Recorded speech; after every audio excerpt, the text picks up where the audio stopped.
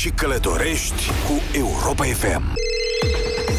8 și 36 de minute, ghice și călătorești cu Europa FM. Avem tichetul de vacanță, 1000 de euro este premiul și în această dimineață.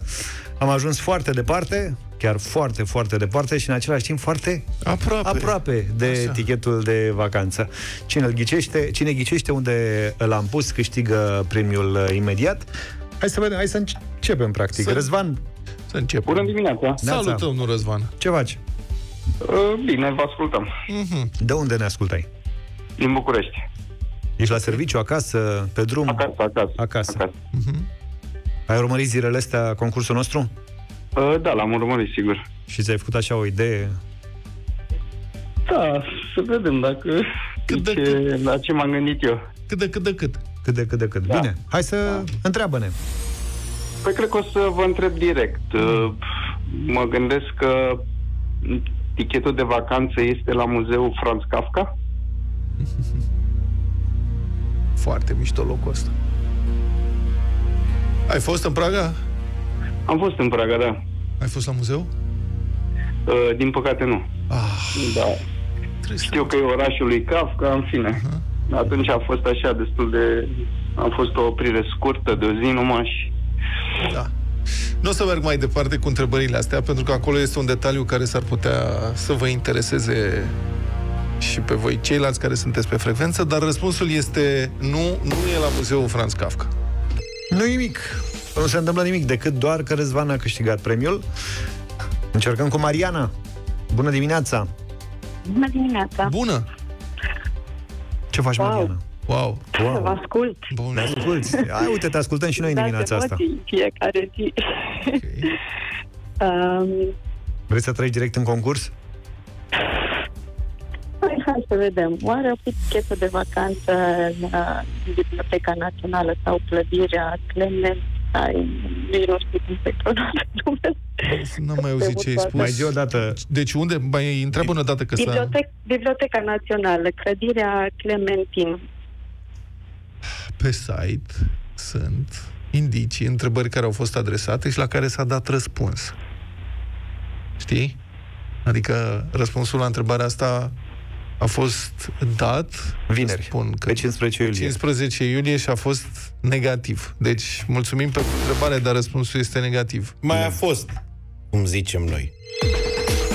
Ne întoarcem cu Marcela în direct. Bună dimineața! Bună, Bună dimineața! Ce faci, Marcela? Ce să fac? Ascultam și cu emoții. E, na. Pui Să maioneză în vedem, să vinete? Potem? Pui maioneză în vinete? Nu se aude bine, ai un ecou, să știți. Pui Dacă maioneză ia în de ma- vinete? A, dacă pun, pun. Bravo. Bravo! Dar nu întotdeauna. Nu întotdeauna. Bravo, Bravo și Raul. așa. Nu întotdeauna pentru că mai sunt probele, mai ales vara sunt mai grele. Da. Și Nu pun depinde de întotdeauna soiul Maioneză în vinete, pentru că uneori nu avem vinete. vinetele. Da. Bine. Marcela, să Ia. știi că poți să ne iei la întrebări. Uh, da, Da. eu încerc și eu cu răspunsul meu. Mhm, cu întrebarea. Cu, Du- cu Dumnezeu înainte. Așa e. Ia. o încercare a martenare, cum se spune. Da.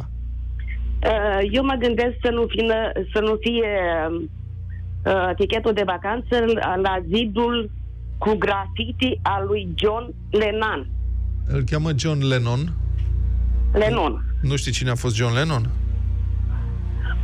Nu Un cred că... cântăreț. Da, a fost unul dintre Beatles. Absolut faimos. Da.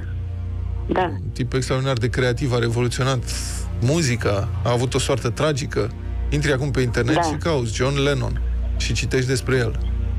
A avut o nevastă japoneză Nu ne mai e- fierbe zină nu dacă e e prea acolo. iubită, da, și Nu e zidul prea ăla de la iubită, nu e Praga- iubită deloc. Da, nu e iubită deloc de fanii Beatles. Zidul ăla are o istorie interesantă acolo. Pi- Desenele au început prin anii 80. Inițial, autoritățile au tot încercat să văruiască zidul și praghezii se reîntorceau și scriau despre libertate și așa mai departe și până la urmă l-au lăsat așa și a devenit un loc în care uh, se duc mulți turiști și își fac fotografii. Este spectaculos. Dacă ajungeți la Praga, mergeți acolo, puteți să vă faceți fotografii frumoase, o să vedeți că mulți copii încearcă să stea în cap. Nu știu de ce la zidul respectiv. Dar răspunsul este nu, nu este la zidul lui John Lennon.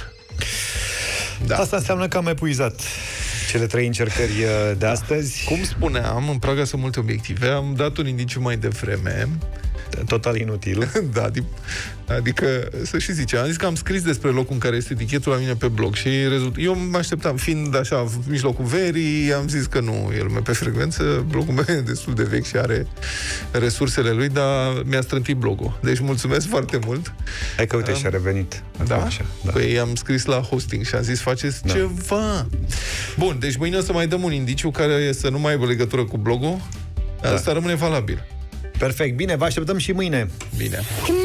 Trezește-te! E timpul să-ți începi ziua. I like humor in the morning. Deșteptarea la Europa FM.